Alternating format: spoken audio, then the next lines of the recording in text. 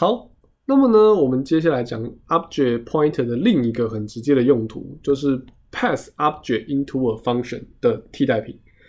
我们今天啊，假设有一个 function 哦，它呢是吃三个 vector，并且回传它们的和哦，比如说像这样这个 sum 吃 v one v two v 三，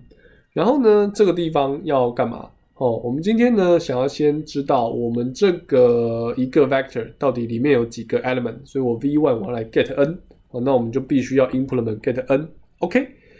有了这个 n 了以后呢，我们就来产生一个所谓的 sum of vector 的这样的一个指标，那这个指标代表的是一个动态阵列啦，哦，那我如果 vector 它们大家长度都是三，那我们就搞一个长度为三的动态阵列。那这个要正动态啊，因为你不不知道传进来的东西长度是多少。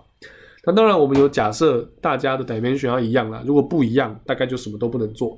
好，那今天呢，我 SOV 也准备好了，我就是跑一个 for 回圈，每一次呢，我就去把 m 的其中一个东西拿出来，然后呢，三个东西都拿出来相加，然后呢，把结果回传给 SOV。哦，这件事情呢，就是很合情合理。那么结果呢，我就得到了一个 vector，我就哎得到一个 array，把这个 array 哦，我们就传进这个所谓的 sum of vector，传进这个 my vector 的这个 constructor。好，那这个 constructor 我们之前没写过，所以我们这里还要来写一下这个传一个 array 进来的 constructor。那这个也很简单啦，就是 n 就把它设成 d，然后呢，我们今天在这里就全方面你把这些事情做下去，这样子就可以了。那呃，这个地方可能大家要注意一下，因为我们的这一个 my vector 哦，它里面它这个 constructor 呢漏掉了这个初始化的这个东西，哦，所以我们这里事实上要有一个这个 new 的动作嘛，我们的 m 要先 new 东西出来，然后我们这个例子里是 int，我们要 new 一块空间给它，然后我们后面才可以用，哦，如果没有这个 new 的话，直接用基本上就是会这个爆炸。好。所以今天呢，我们回呃忽略刚刚讲的这些小细节，我们回头看这个函数。这个函数呢，它算起来是挺辛苦的，因为它在这个函数里面总共要建立四个 object，一个、两个、三个、四个，哦，总共要建立四个 object。那你 object 如果大，这样就蛮累的。那所以呢，有一个替代方案，就是你传 pointer 进去。你传 pointer 的话呢，这里都不用建立 object。因为你只是把一个 object 的位置传给他，然后呢，你去呼叫东西的时候呢，把点改成箭头，那么这样一来，你就只需要建立一个 object。好，那这个很多时候就会比较快。就是如果你的 object 很大的话，你光是在那边复制贴上就已经浪费时间到不行了。哦，不过 again，它有它的缺点，就是你用一个 pointer 去指向一个 object，那去存取其中的一个东西，这个动作比较间接嘛。哦，所以呢，它可能会反而浪费你比较多时间。哦，所以你这个要衡量啦，就是传 pointer 跟传 object 到底哪一个好，很难说。你 object 如果不够大，那大概直接传还比较快。那你 object 如果超大的话，哦，那情况就会反过来。好，那么呢，我今天也可以传 reference，对吧？因为我们小时候也做过这个 call by reference 啊，哦，传个 swap 啊、int 啊什么之类的，可以传 reference。既然可以传 reference，那 object 当然也可以传 reference，这个没有问题。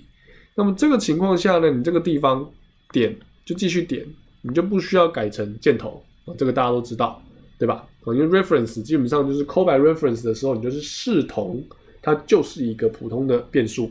只是它传进来的是 alias。这样子，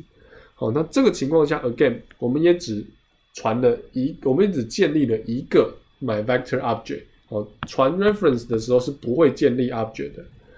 那么呢，我们今天既然有 reference，那我们可能就会想要有 constant reference，OK？因为我们传 reference 的时候，我们可能要保证我们的 argument 并不会被 modify。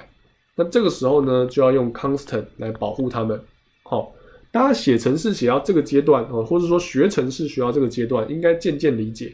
很多时候我们打出来的程式码，并不是真的要解决什么问题的，打出来程式码是为了避免某些问题发生。好，这个是两种很不一样的概念哦。刚开始学的时候会觉得我打程式码就是为了要解决问题，但是到了某个阶段以后，你打程式码是为了避免问题，就像这几个 const 一样，